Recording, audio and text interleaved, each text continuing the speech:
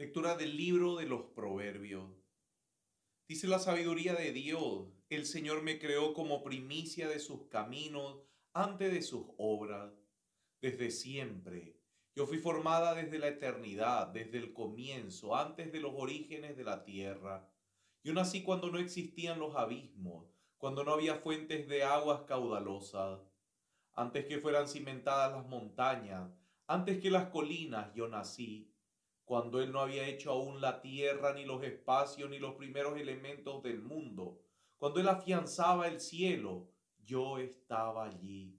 Cuando trazaba el horizonte sobre, sobre el océano, cuando condensaba las nubes en lo alto, cuando infundía poder a las fuentes del océano, cuando fijaba su límite al mar para que las aguas no desbordaran, cuando afirmaba los cimientos de la tierra yo estaba a su lado como un hijo querido y lo deleitaba día tras día, recreándome delante de él en todo tiempo, recreándome sobre la faz de la tierra, y mi delicia era estar con los hijos de los hombres.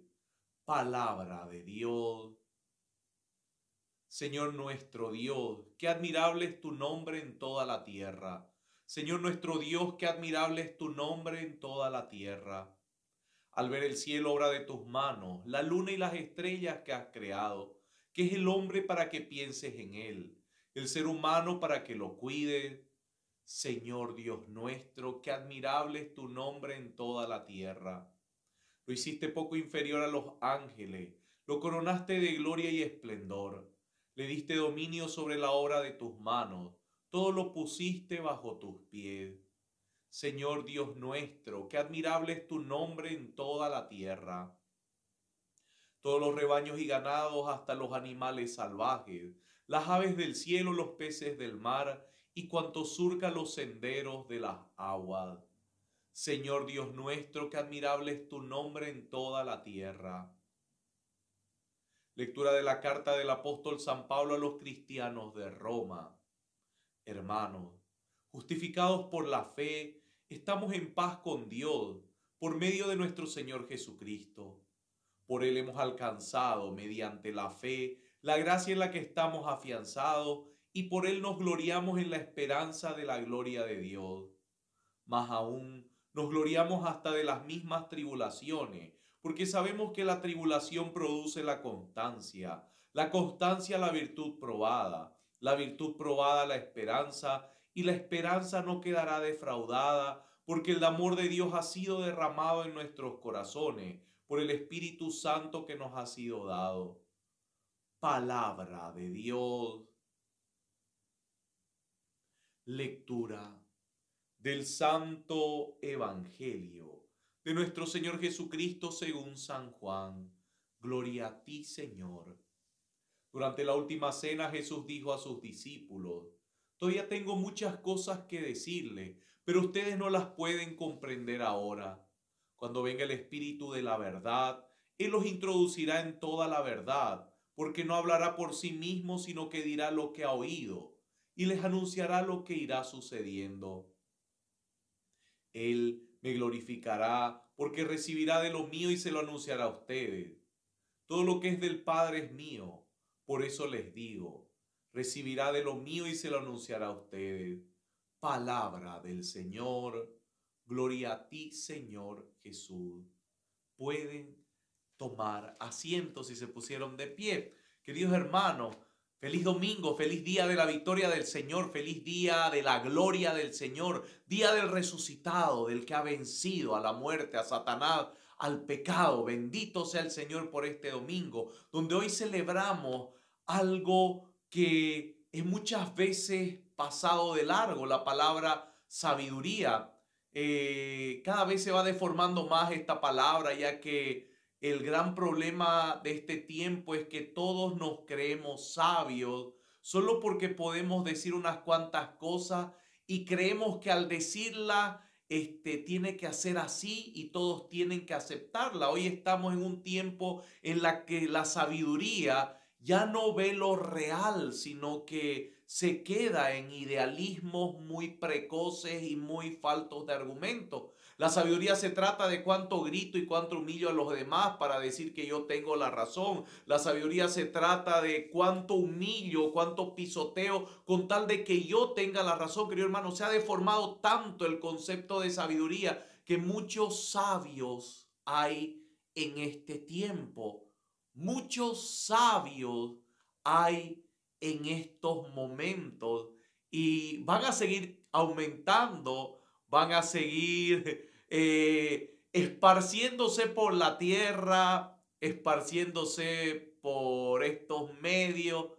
Hay muchos, queridos hermanos, y eso nos tiene que hacer pensar, wow, si esto es sabiduría, ¿qué calidad de sabiduría es la que estamos viviendo? ¿O qué es esto?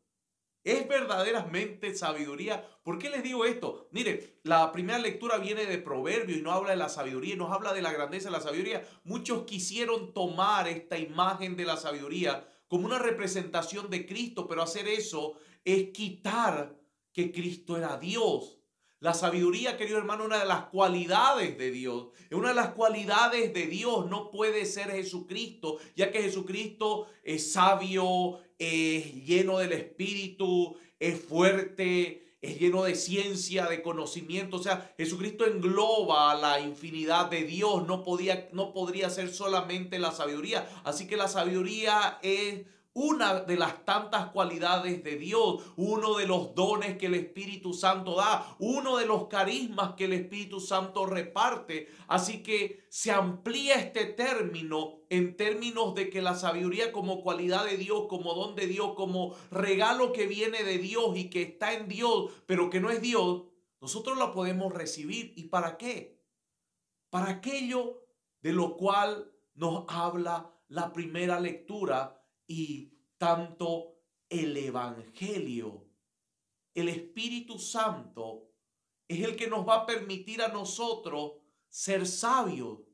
La venida del Espíritu Santo, todo lo que hemos celebrado hasta ahora, hasta Pentecostés, es la que nos va a permitir, la que va a abrir todo nuestro ser a recibir este don tan profundo, tan grandioso, que dirige los demás dones en profundidad y en grandeza, que los dirige y que los ordena nos va a permitir solamente el Espíritu Santo la capacidad de ser sabios, sabios pero verdaderamente en profundidad. No sabios solo porque nosotros nos creemos sabios, porque si fuera de parte de nosotros, de parte de nuestra propia fuerza, entonces ya no sería sabiduría, sería un orgullo superfluo que solamente nos hace creer que nuestros términos son los únicos que existen. Querido hermano, la sabiduría es aquella que actúa en nuestras vidas para que nosotros podamos en la vida dar la mejor respuesta para saber los mejores caminos porque sabemos el fin que es Dios. Mire, la sabiduría nos permite saber que Dios es el fin de nuestra vida, pero no solamente nos permite saberlo, sino que también nos permite encontrar el mejor camino para llegar a nuestro fin. Y cuando el ser humano entiende esto y sabe que esto es la sabiduría, se aparta de todas, todas las obscenidades mentales que se andan proclamando en este tiempo. Aquel que entiende, porque ha recibido sabiduría, que Dios es el único fin de la humanidad, el creador, es el único fin de la criatura. Y no solamente eso, sino que por esta misma sabiduría podemos descubrir cuáles son los mejores caminos para llegar a este fin que es Dios. Bendito sea el Señor, aprendemos a ser felices. El don de la sabiduría, esta cualidad de Dios, este regalo de Dios, nos enseña a ser felices. ¿Por qué? Porque nos permite comprender que Dios es el único fin de nuestras vidas. El único, el único motivo de felicidad en nuestras vidas es Dios. El único motivo de gozo en nuestra vida es Dios. El único motivo de firmeza, el único motivo de grandeza en nuestras vidas es Dios. Así que al entender eso, no solamente entiendo, sino que la misma sabiduría me guía por camino que me llevan a este fin, que es la felicidad que el ser humano tanto busca. Todos quieren ser felices. El problema es cómo buscamos esta felicidad. Creemos que la felicidad son las ofertas placenteras y efímeras de este mundo o creemos que la felicidad es llegar a Dios que nos ama y que nos ha creado por amor. La felicidad a la que nos invita Dios solamente se puede lograr por medio de este gran regalo que Él también nos da, la sabiduría. La sabiduría, la sabiduría. Y solo el Espíritu Santo nos permite recibir esta gracia. Querido hermano, querida hermana, la sabiduría es la que te permite en este tiempo ver, escuchar, sentir y pasar todo por un filtro, discernirlo para apartar lo que sirve de lo que no sirve, lo correcto de lo incorrecto y así poder ir por caminos que nos llevan a una felicidad profunda y verdadera. Amén, amén, amén.